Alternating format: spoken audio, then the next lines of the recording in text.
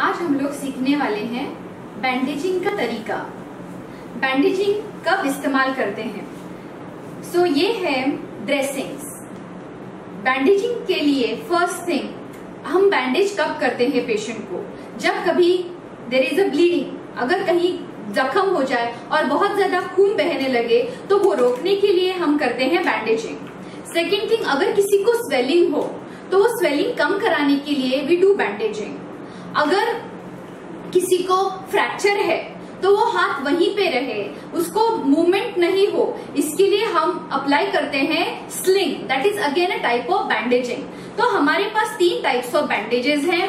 एक है roller bandage जिससे अगर कहीं पे जख्म हो जाए ब्लीडिंग हो रहा है तो we can use roller bandage अगर अपने को, अगर किसी को फ्रैक्चर है और स्प्लिंट कराना है तो this is called triangular bandage और अगर स्वेलिंग है और स्वेलिंग कम कराना है स्वेलिंग रोकना है तो this is a crepe bandage so we have a different types of bandage bandage first thing is bandage बांधने के लिए अगर किसी को जख्म हुई है तो first thing we apply is dressing तो ड्रेसिंग अप्लाई करने के लिए we use a gauze piece so first thing in a bandaging is first control the bleeding So before controlling the bleeding, you have to take care of yourself. So you need to wear gloves. अपने को gloves पहनना है। Gloves पहनने के बाद first thing अगर आपको gloves पहनने के लिए टाइम लग रहा है तो द पर्सन जिसको ब्लीडिंग हो रहा है, वो खुद खुद ब्लीडिंग कंट्रोल कर सकता है बाय गिविंग प्रेशर अब मैंने ग्लव्स पहना है। अभी अब मेरे को बैंडेज अप्लाई करना है। तो बैंडेज अप्लाई करने के लिए for bleeding first thing what we are going to do is हम लोग रोलर बैंडेज का इस्तेमाल करने वाले हैं। सो फ़र्स्ट अपने को देखना है कि ब्लीडिंग रुका है कि नहीं। अपने को ब्लीडिंग रोकने के लिए पहले प्रेशर देना है। तो प्रेशर कितना टाइम तक देना है? जब तक ब्लीडिंग कंट्रोल नहीं हो रहा है।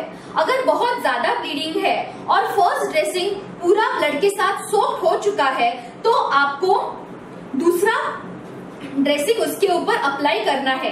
फ़र्स्ट ड्रेसिंग निकालना नहीं है। बैंडेज बांधने के लिए हमेशा आपको रोलर बैंडेज इस तरीके से पकड़ना है। इस तरीके से बैंडेज नहीं पकड़ना है, क्योंकि बैंडेज खोलने के लिए और अप्लाई करने के लिए टाइम लगता है। इस तरीके से बैंडेज अपने आप खुलता है। बैंडेज बांधने के लिए कोई भी एक्सट्रीमिटी पे जब आप बैंडेज बांधोगे तो बैंडेज हमेशा नीचे से ऊपर की तरफ़ बांधना है। कभी भी ऊपर से नीचे की तरफ़ बैंडेज नहीं बांधना है। मतलब narrow end to broad end अगर ब्रॉड एंड से नैरो एंड की तरफ़ बैंडेज बांधना चालू करेंगे तो बैंडेज लूज होके नीचे आता है। तो इसीलिए बैंडेज हमेशा नीचे से ऊपर की तरफ़ बांधना है। अभी मैं आपको बताऊँगी बैंडेज बांधने के तीन तरीके। सबसे पहला तरीका सर्कुलर बैंडेज सर्कुलर बैंडेज छोटी जख्मों के लिए इस्तेमाल किया जाता है।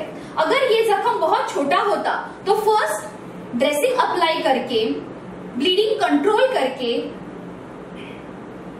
I will give only turns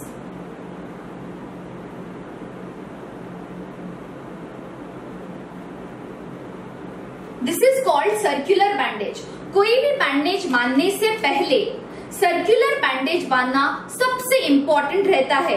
आपको कोई भी बैंडेज हाथ में बांधना है, पैर में बांधना है, कहीं पे भी बांधना है तो circular bandage becomes an anchoring turn so anchoring turn करने के लिए फ़र्स्ट बैंडेज है सर्कुलर बैंडेज अगर जख्म बड़ी हो तो आपको सर्कुलर बैंडेज के साथ साथ स्पाइरल बैंडेज बांधने की ज़रूरत होती है। स्पाइरल बैंडेज का मतलब है, आप ये जो सर्कुलर टर्म्स है। उसमें से टू थर्ड कवर करोगे और वन थर्ड छोड़ोगे और ऊपर की तरफ़ जाओगे। So I cover two third and I go up okay so this is called spiral bandage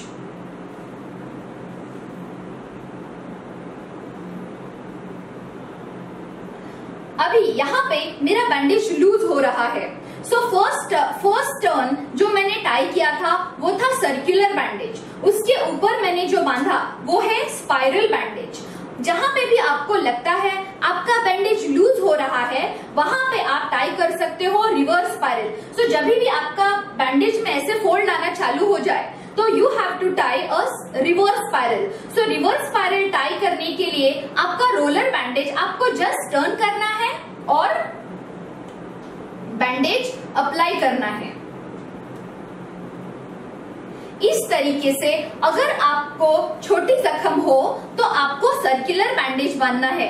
थोड़ी बड़ी जख्म हो, जहाँ पे फोल्ड नहीं आ रहे हैं तो आपको सर्कुलर के साथ स्पाइरल बांधना है। और जहाँ पे भी आपका बैंडेज लूज हो रहा है, वहाँ पे आपको रिवर्स स्पाइरल बांधना है। ये याद रखिए, अगर आपने बैंडेज नीचे की तरफ़ स्टार्ट किया है तो बैंडेज का नॉट यानी गांठ, हमेशा ऊपर की तरफ़ आनी चाहिए। बैंडेज के लिए आप बैंडेज कट करके यहाँ पे स्टिकिंग अप्लाई कर सकते हैं, या यहाँ पे कट करके एक नॉट अप्लाई कर सकते हैं या गांठ बाँध सकते हैं।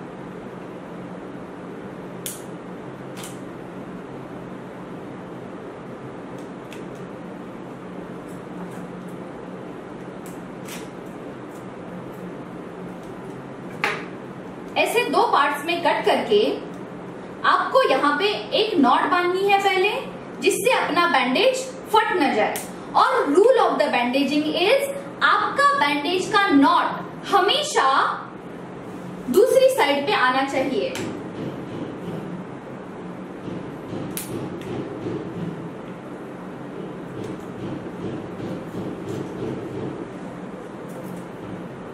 क्योंकि अगर किसी और ने बैंडेज निकाला तो यहाँ से वो सीजर न डालते हुए यहाँ से बैंडेज कट करेगा। आपने बैंडेज बराबर बांधा है या नहीं, ये देखने के लिए कुछ चीज़ें बहुत ज़रूरी है। आपने बैंडेज बांधने के बाद जिसको भी बैंडेज बांधा है, उसके आपको फिंगर्स का कलर देखना है। वो कलर कभी भी कम नहीं रेड ही होना चाहिए, वो ब्लू नहीं होना चाहिए। उनको पूछना है कि आपको मूँगी आ रहा है क्या नहीं इसका मतलब बैंडेज बराबर बांधा गया है। बैंडेज में एक उंगली डाल के देखनी है। बैंडेज हमेशा फॉर्म होना चाहिए। बैंडेज कभी भी टाइट नहीं होना चाहिए।